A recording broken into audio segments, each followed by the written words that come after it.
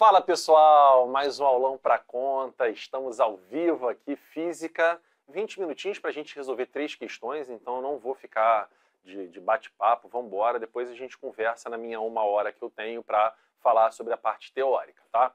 Então eu escolhi aqui algumas questões Gente, assim, peguei questões até complexas, eu sei que pode doer um pouco no primeiro momento, porque a prova é amanhã, mas são questões que me permitem comentar mais coisas. Então, não olhe para que era a questão mais difícil da prova do ano passado, por quê, não sei o quê. Não olha para esse caminho, só vamos apresentar aqui algumas revisões que são muito importantes. Então, as questões maiores permitem que a gente fale de mais tópicos dentro de uma mesma questão, tá?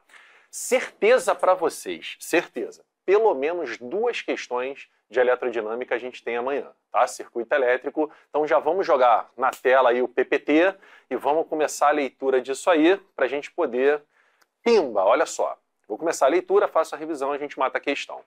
Uma lanterna funciona com três pilhas, e aí já começa a dificuldade. O normal, pessoal, é que tem uma pilinha só, mas se tiverem 3, 5, 15, não tem nenhum problema, a gente vai ver como resolver bom?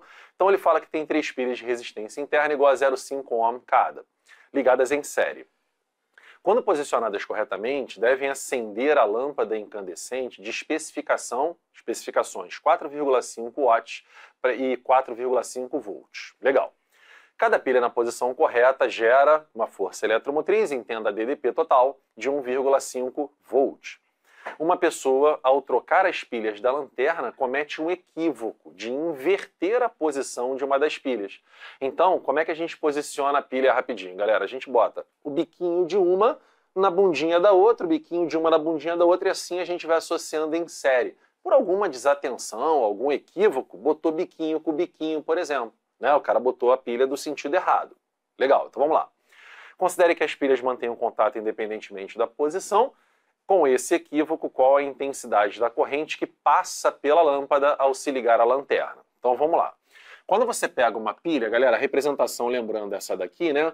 Onde a haste grande é o polo positivo, desenho isso aqui, e a haste pequena é o polo negativo. Bem, qual é o objetivo da gente ligar uma pilha? Fazer alguma coisa funcionar, fazer um brinquedo andar, fazer uma lanterna acender, fazer algum equipamento elétrico começar a trabalhar. Né?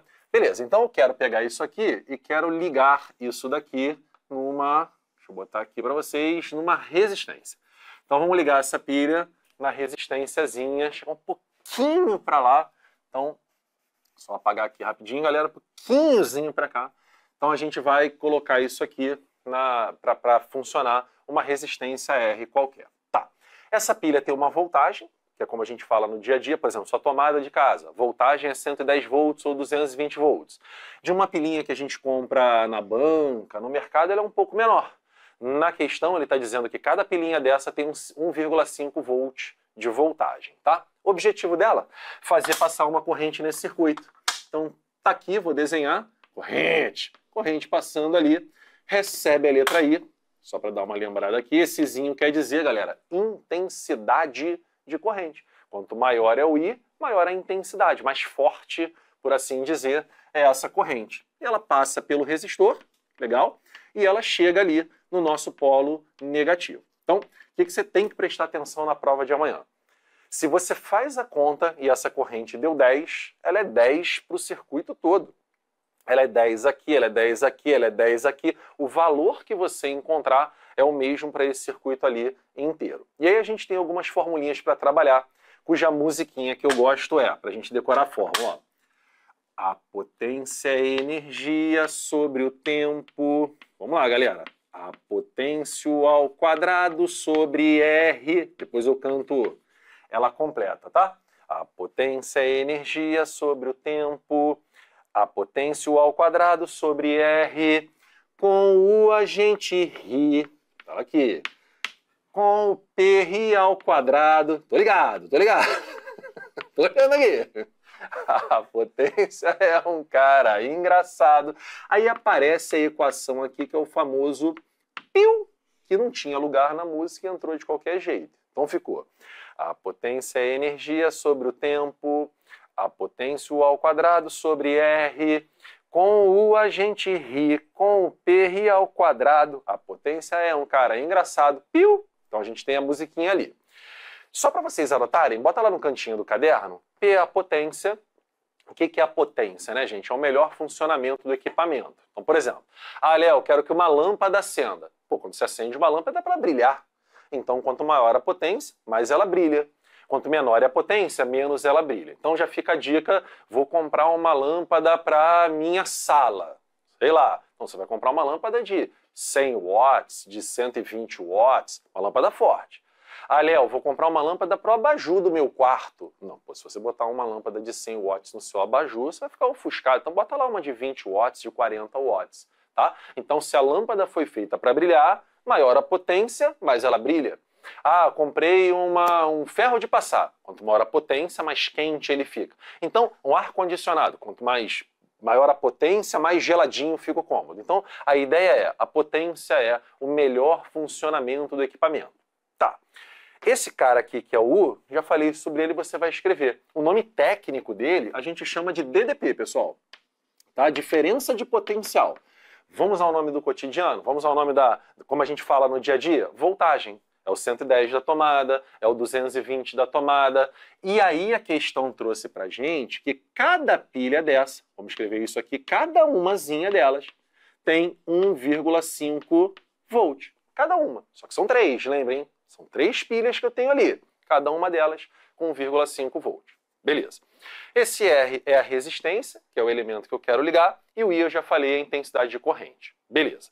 Bem, aqui nessa questão, vamos lá na quarta linha, meus amores. Já vou olhar o chat. Com... Ah, eu vou falar do kit já já. já vi cobrar aqui o kit e a rola caída. Daqui a pouco eu falo com vocês, tá? Mas é, são as. Então, o pessoal já me olha aqui. São, são as formulinhas que a gente tem para trabalhar. Mas enfim, é, já falo sobre elas. É, quando a gente olha na questão, vai na quarta linha. Vai na quarta linha, por favor, você vai achar um negócio que está assim, quer ver? Ó? Uma lâmpada incandescente com especificações. Vamos anotar aqui. Potência de 4,5 watts. Essa, essa unidade watts, conhecida no dia a dia, né? Mas é a potência da lâmpada, o quanto ela brilha, tá? E fala que ela foi feita para ser ligada em 4,5 volts. Então repara, pessoal. Por isso que a questão falou que você tem três pilhas. Pega direitinho a ideia, pega, pega direitinho o conceito da coisa. Cada pilha tem 1,5. Eu precisava acender uma lâmpada de 4,5. Aí o cara comprou três, pô. Porque se cada uma tem 1,5, para totalizar os 4,5 eu precisaria de três lâmpadas. Essa era a ideia. Né? Beleza. Aí o que, que a gente vai fazer?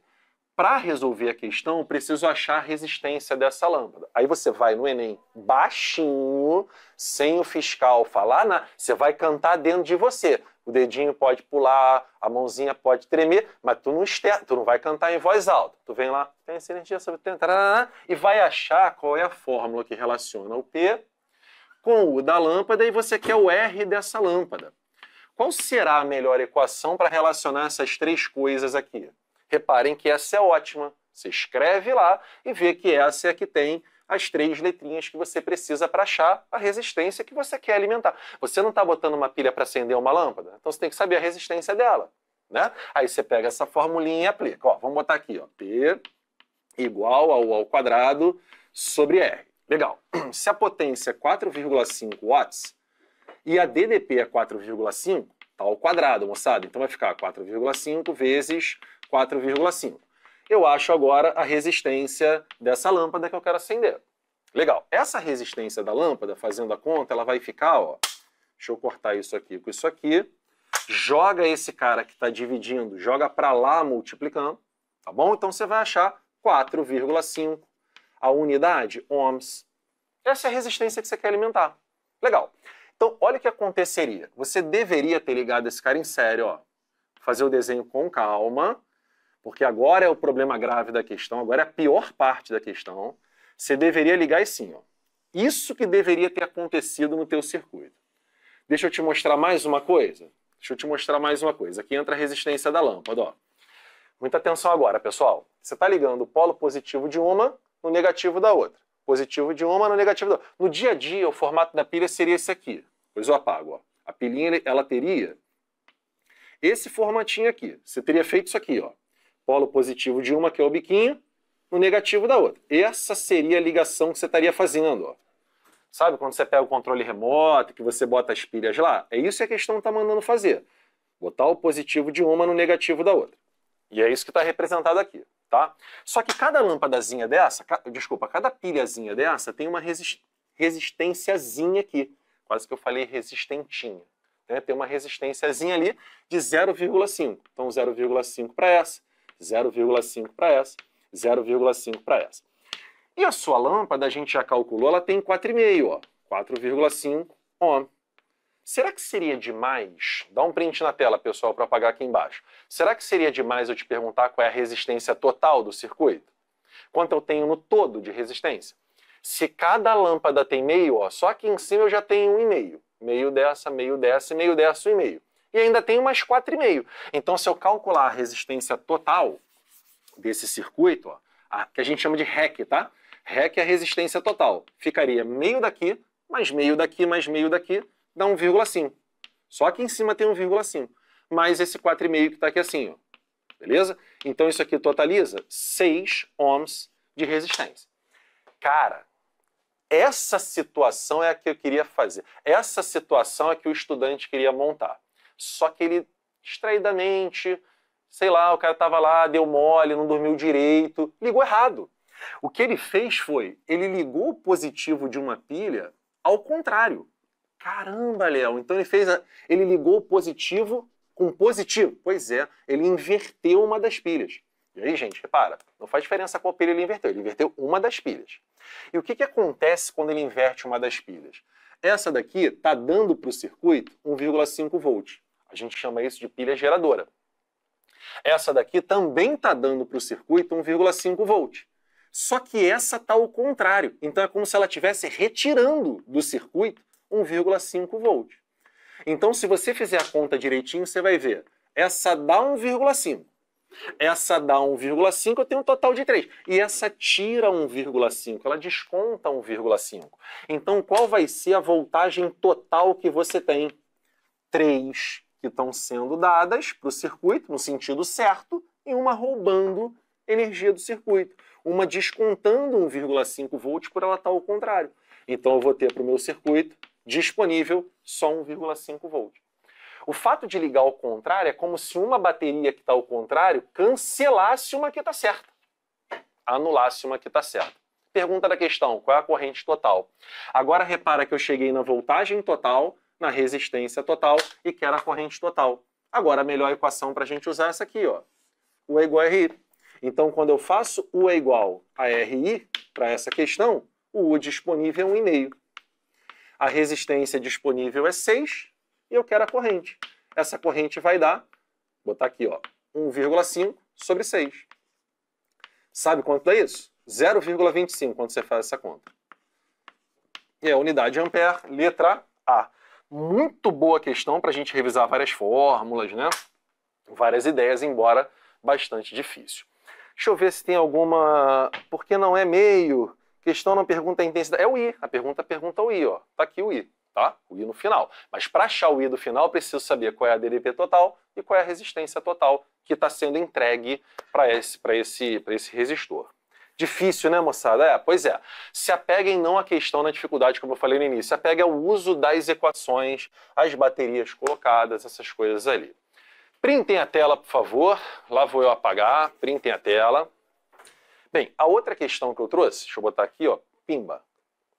É isso? Meu Deus. A outra questão que eu trouxe é uma chargezinha. E aí, Ju, como é que estão as coisas? Tu já tá, tu já tá preparada aí, é? Preparadíssima. Show de bola. Então vamos lá. Próxima questão que eu trouxe, pessoal. Vou apagar só esse lado aqui por enquanto. Diz o seguinte, uma chargezinha... Cara, aí a gente vai ficando mais velho, 43 anos, né? Aí, pra ali, aqui na, na distância, o negócio complica, Ju. Não é fácil, não. Considere a tiria na situação em que a temperatura do ambiente é inferior à temperatura corporal dos personagens. Então, o ambiente está com uma temperatura mais baixa do que os personagens. O que isso quer dizer? Lembra vocês o seguinte, moçada, dois corpos aqui, ó, A e B. Certeza que amanhã teremos uma questão de calorimetria, de movimento, meu Deus do céu, de, de, de mudança, né, de energia de um corpo para o outro chamado calor. Para onde esse calor flui, pessoal? sempre do corpo de maior temperatura para o corpo de menor temperatura. Então, se te perguntarem para onde se flui o calor, para onde o calor flui, sempre da maior para menor temperatura. Então, se você tem uma temperatura mais elevada que o meio, passa uma energia do seu corpo para o meio externo. Vamos seguir. Aí ele fala assim: uh, hoje está quente, né? Aí o outro diz: é mesmo. Mas o que me incomoda mesmo é a umidade. Você não gosta de umidade? Não mesmo. Então salta correndo. Então o skatinho vai cair dentro d'água, etc. Né? O que acontece, moçada? A umidade ela é causada principalmente por causa da água. Né? A água, é vapor d'água contido na atmosfera, essa água ela tem um negócio chamado calor específico muito alto. O que, que significa o calor específico da água ser muito alto? Né? Olha só isso aqui, moçada, esse é o valor, você não tem que decorar. Ah, mas a prova é amanhã. Não tem que decorar, isso vai estar na prova. O meu medo é que você olhe para esse 1 e ache que é pequeno. Só para fazer um paralelo, o do ferro, o calor específico do ferro, ele é 0,1 caloria por grama grau Celsius. E o que isso quer dizer? Eu gosto muito desse exemplo, porque para tentar encaixar na sua cabeça a seguinte coisa. Se você der uma caloria para um grama de água, ela aumenta um grau Celsius na temperatura. Eu vou inverter a frase para gente, a gente visualizar. Para que a água aumente um grau Celsius, um grama dessa água precisa receber uma caloria. Faz o paralelo para o ferro. Para que o ferro, um grama de ferro, aumente um grau Celsius, ele precisa só de 0,1 caloria. Ele precisa de 10 vezes menos energia para aumentar um grau Celsius do que a água. A água presente nos locais dificulta muito a variação de temperatura. É você pegar o deserto. O deserto é um lugar que praticamente não tem umidade. Se praticamente não tem umidade, faz o seguinte: trata a umidade como um regulador de temperatura. O deserto não ter umidade faz com que à noite a temperatura seja de menos 10 graus Celsius e de dia 50 graus Celsius. É a chamada amplitude térmica muito alta. Aqui no Rio de Janeiro, a umidade relativa do ar é muito alta, então é difícil variar a temperatura. Então, por exemplo, ambientes secos. Vamos pegar um exemplo aí, Brasília. Alô, galera de Brasília, eu dei esse exemplo inclusive na nossa aula de segunda-feira, né? Um ambiente mais seco propicia você suar e esse suor que está na sua pele vaporizar. Ter facilidade para encontrar um lugar no ar ambiente. Se o ambiente estiver muito úmido, o suor escorre na sua pele e ele não vai encontrar lugar, a umidade está muito alta, ele não vai encontrar um lugar para se encaixar na atmosfera, então ele não vai evaporar.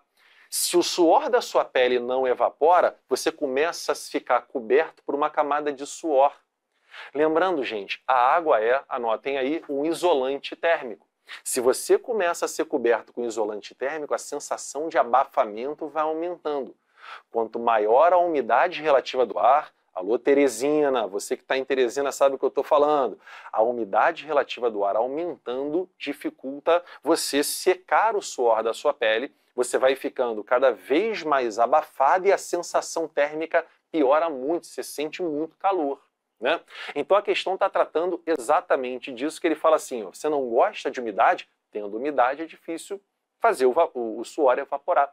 E aí você vai ficar cada vez mais abafado naquele ambiente. Né? Por isso, se a gente for buscar a resposta da questão, se o ambiente é muito úmido, o suor apresenta muita dificuldade para evaporar do corpo. Tá? Agora, um detalhe que eu acho interessante, fazendo um contraponto para a gente encerrar o nosso encontro, tá? fazendo só um contraponto rápido. Sabe quando você está com muito calor e aí você entra na, na água da piscina, por exemplo, e quando sai sente frio? Olha o contraponto que eu vou trazer agora. Por que você sente frio se a água é um cobertor? Né? Na verdade, porque para essa água evaporar, ela tem que ter lugar na atmosfera, não pode ter uma umidade muito alta, obviamente, mas ela retira calor de quem ela está em contato. Ela retira calor do meio ambiente para evaporar ou até da sua pele. E quando ela retira calor da sua pele para evaporar, você sente frio, você fica ali, né? Putz, um frio miserável, arrepia todo para fechar os poros, dificultar essa evaporação. Tá bom? Ô Ju, parece que a gente tem um negocinho para fazer juntos aqui. Resposta letra B. As questões que me solicitaram eram tensas, mas estamos aí, né? Estamos aí para a gente conversar. A galera se desespera um pouco com física, hein, Ju? Hum, não é? Física eu não é um posso falar muita coisa, não, é. porque eu também, né? Você também, Ju? Aham, um pouquinho só. Uhum. É sempre uma dificuldade, né? Pois é, não Vamos é lá. fácil, não é fácil mesmo. Vamos lá, Taiwan. Portela. Ih, Portela. Comigo, cara. Vamos lá. Comunidades. Quem não tá na comunidade, a gente complica, por favor, entre. WhatsApp. Me dá dicas para lembrar as fórmulas de física? Então, cantamos uma musiquinha, né?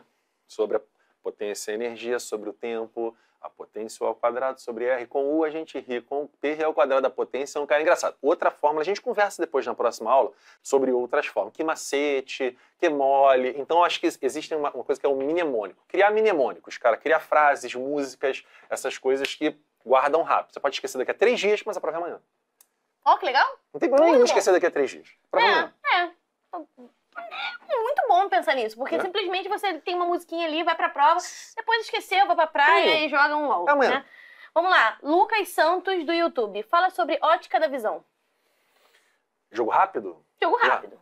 Dois problemas que você tem que saber para amanhã: miopia e hipermetropia. Miopia, dificuldade de ver de longe. Tem a piadinha ótima para lembrar para amanhã. Ótima na nerdice, não é ótima para conta. Por que o míope não pode ir ao zoológico, Ju, você sabe? Hum, tô com um pouco de medo da resposta. Não, não, fica tranquila. porque É, é tosca demais a piada, mas é para lembrar amanhã. Por que o míope não pode ir ao zoológico? Não sei. Porque ele usa lente divergente. É horrível a anedota, mas lembra amanhã. Mas lembra amanhã. Que ele usa lente divergente. Divergente. Isso. E o hipermétrope, dificuldade de ver de perto, é o contrário, convergente. Então, se você é míope, guarda. A minha é divergente, tá? E o hipermétrope convergente. São os dois problemas visuais que podem cair Pô. amanhã. Muito Bom. maneiro. O míope não pode ao zoológico, usa lente divergente. Pronto, acabou. Tudo certo. É isso. Outra. Assim, vou te falar que os alunos estão tranquilinhos nessa Sério? Sim. E assim, eu queria entender com você se tem. Você tem quase certeza que isso aqui vai cair no Enem amanhã. Certeza. certeza. Nesse nível de dificuldade, não. Ju, eu peguei uma questão para revisar muita coisa, então não é para ele se desesperar, mas vai cair eletrodinâmica, uma bateria com resistor, tranquilo, cara. Então, isso aqui Então, é um médio para um difícil. esse é. É um difícil. Esse Pô, é, é um médico difícil. aí pode ser que caia mais fácil, galera. Não, com certeza, com certeza. Com certeza. Então? Três, eu acho que de duas a três questões desse tema, desse tema aqui e duas questões desse tema aqui. Então Já tem print, cinco né? no quadro. Tem Deixa cinco no quadro. Tem cinco no quadro. Tique, Print. tique, tique. Tirou print? Um dia eu ainda vou ter uma gravata dessa. Ó, minha gravata bonita. Um dia eu vou ter. Um dia eu vou ter uma gravata Mas dessa. aí, Ju. fala mais. Um- Você gostou? Poxa, um dia eu vou ter uma gravata dessa. Vamos ver, vamos ver o chat? O que, que eles acharam? chat. Vamos, Vamos, lá, ver o chat. galera. Ó, perguntar se não entendemos nada? Te zoaram, cara. Não, não tem como, Ju. Tem como, Cara, tem infelizmente, como, como. é, física é isso mesmo, como. galera. Mas, assim, é o que o Léo falou. Tenta dar uma decorada na, na fórmula aqui, canta, dá uma cantada. É, é isso. Ó, manda uma mensagem aí, galera, É isso. pra gente. Ó, Léo, não me ilude, viu? Tô falando que você tá iludindo aí. Não, não, não tô não, gente. Assim, você vai encontrar amanhã uma prova que tem as suas dificuldades, né? Vai ter lá algumas questões difíceis, mas sempre tem duas de eletrodinâmica, tu pimba. Vai lá, aplica a equação e pimba, vambora. A gente tem que chamar o Pelizari, mas perguntaram assim, Pelizari. ó. Carol, pergunta sobre o Fluminense. Hum. Infelizmente, né? Pelizari, Pelizari. Pelizari!